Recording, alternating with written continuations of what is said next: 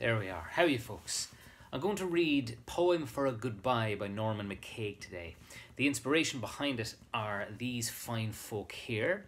These are my brothers and sisters, and this photo was taken in the aftermath of what was about to become the most epic row of all time. And then it got resolved, thankfully, and we all grabbed each other for an impromptu hug. This photo was taken, and it's a definitive moment for us in our family. Uh, my eldest sister Mary's not there, but she's still there. So uh, this poem is about that, that aching, longing feeling you have when you're dying to see your loved ones. And I know a lot of us are separated from our loved ones at this moment in time. So hopefully that will pass soon. But until then, here's a poem to hopefully keep you going. Poem for a Goodbye by Norman MacCaig. When you go through my absence, which is all of you, and clouds or suns no more can be my sky, my one dissembling will be all, the inclusive lie of being this voice, this look, these few feet tall. The elements which made me from our encounter rich cannot be uncreated.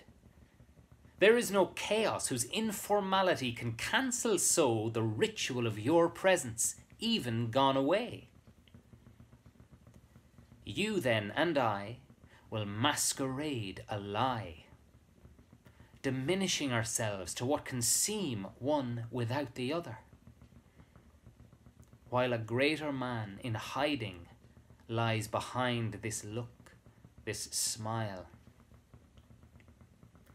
It's he who will across sad oceans meet you still, startling your carelessness with what once was.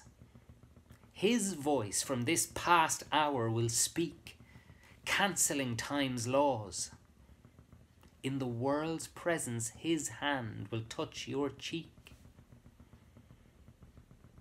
You leave behind more than I was and with a kind of sad prevarication take with you more than I'll be.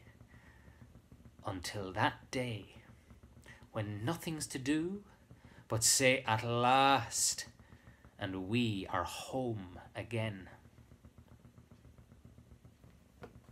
It's quite beautiful, isn't it? So I will love you and leave you with that. Uh, take it here from, from me and Chewy, who's keeping me company in these COVID times. So look after yourselves, be kind, be safe, stay well, and hopefully we'll all see each other soon. Good luck.